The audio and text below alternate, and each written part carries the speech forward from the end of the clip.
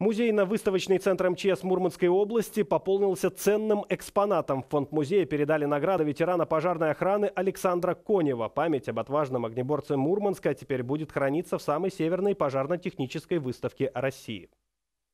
Личные вещи и награды Александра Конева передала его дочь Екатерина. В церемонии приняли участие представители Главного управления МЧС России по Мурманской области и регионального управления ГО ЧС. О заслугах пожарного рассказал его коллега, ветеран пожарной охраны Александр Монахов. Вместе в 1984-м они тушили пожар на Окольной в Североморске. Тогда отделение командира Конева приехало первым. Невзирая на опасность, с задачей справились. За это Александр Конев был удостоен одной из самых важных врученных для огнеборцев медалей за отвагу на пожаре.